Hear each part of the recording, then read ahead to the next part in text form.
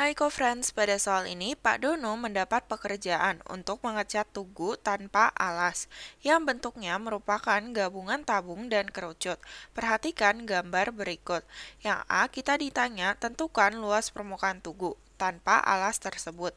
Yang B, jika untuk setiap 1 meter persegi dibutuhkan cat sebanyak 10 mili, maka tentukan banyaknya cat yang dibutuhkan Pak Dono.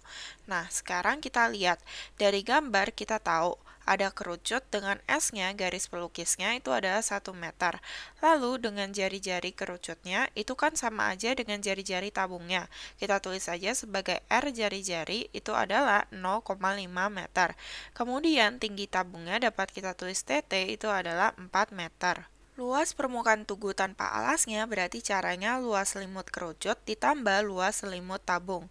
Luas selimut kerucut itu adalah Pi dikali R dikali S. Lalu ditambah luas selimut tabung itu adalah 2 dikali Pi dikali R dikali tinggi tabungnya. Nah, menurut prioritas operasi hitung, yang pertama kita kerjakan yang di dalam kurung, kedua perkalian atau pembagian, ketiga penjumlahan atau pengurangan, keempat jika setara kita kerjakan dari kiri ke kanan. Nah, jadinya Pi itu kan bisa 20 27 bisa 3,14.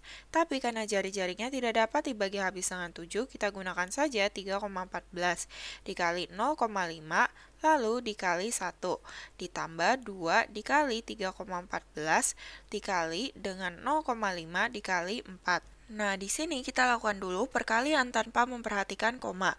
Jadi, kita coba 314 kita kalikan dulu dengan 5. 4 dikali 5 adalah 20. 0 di sini, 2 di sini. 1 kali 5, 5 ditambah 2 itu adalah 7. 3 dikali 5 itu adalah 15. Jadi, 1570 dikali 1 itu adalah 1570. Nah, kalau kita lihat di sini ada satu angka di belakang koma, di sini dua angka di belakang koma. Jadi totalnya ada tiga angka di belakang koma. Jadi 1,570 nilainya sama saja dengan 1,57. Ditambah di sini kita lakukan perkalian lagi tanpa memperhatikan koma dulu. 2 dikali 314 sama saja dengan 314 dikali 2. 4 dikali 2 8, 1 dikali 2 2, 3 dikali 2 6. Lalu 628 kita kalikan dengan 5. Jadinya Jadinya 8 dikali 5, 40, 0 di sini, 4 di sini, 2 kali 5, 10 ditambah 4, 14, 4 di sini, 1 di sini. 6 dikali 5, 30 ditambah 1, jadinya 31. 3140 kita kalikan dengan 4. Nah, jadinya di sini 0 dikali 4 adalah 0, 4 dikali 4 16, 6 di sini, 1 di sini, 1 kali 4 4 ditambah 1 jadinya 5, 3 dikali 4 itu jadinya 12.